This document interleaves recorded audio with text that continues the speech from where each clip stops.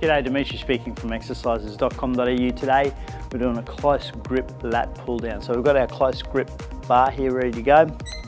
Got our correct weight selected and we've got this adjusted to the right height so I can lock myself in position nice and tight down onto the bench. So I'm going to grab the weight before I sit down. I'm going to sit down with that weight so I'm engaged when I start the movement.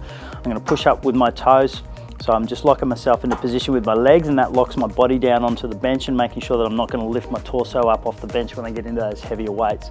From here, all I want to do is start with the movement slightly bent from my, from my arms. So from here, you can see those arms are locked out tight here. We don't want that. We want to start with them slightly bent. From here, I'm going to retract, depress my shoulders, lock myself into position so that we're nice and tight for our core muscles. It's a compound muscle group movement, so biceps, rear deltoids and lats and we're going to really isolate those muscles by making sure that our torso is not moving and there's no movement through anything else other than those three muscle groups.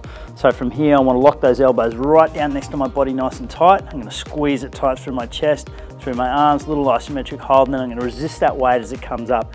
At the top of a movement, we want to have our arms slightly bent. and We don't want to be lifting our weight up off the bench at all. We want to be keeping our bum down as tight as we can, lock down onto that bench, and really pulling down with those elbows really resisting the weight as it comes up. Make sure that you really do resist that weight as it comes up. Don't just pull the weight down and let your arms just flop up and resist that. Don't let the weight just come up nice and loose like that. We wanna make sure that we're locked in nice and tight.